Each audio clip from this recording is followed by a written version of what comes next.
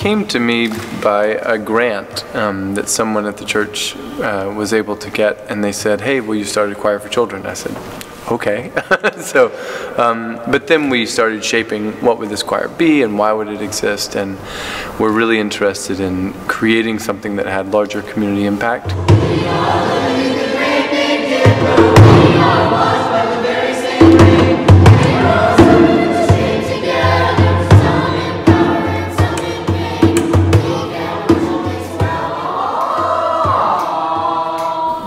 When children carry messages of uh, love and of um, building on one another's diversity and um, working together for a better world, it speaks with, in louder ways than adults ever can.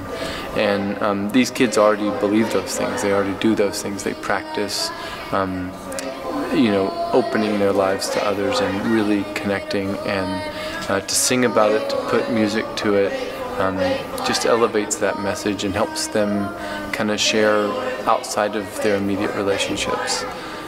Showing that we are inclusive, not just of uh, one community, but of all the communities that surround us here in LA.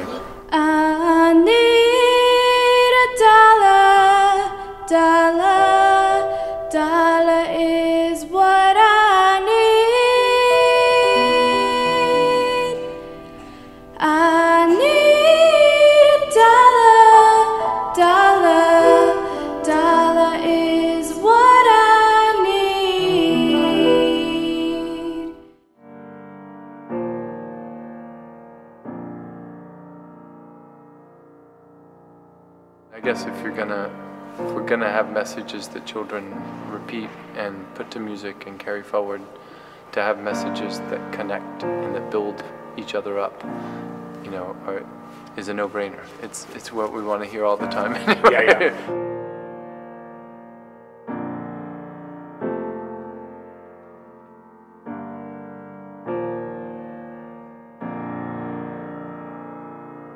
Have you ever felt like nobody was there? Have you ever felt forgotten in the middle of nowhere? Have you ever felt like you could disappear? Like you could fall and no one would hear? bringing this message of who we can be together and how we can build the world so that it includes everyone what is became a quick motivator and has been a powerful core to what we're doing and um, I think has been essential to attracting the singers that we have and will be as we go forward.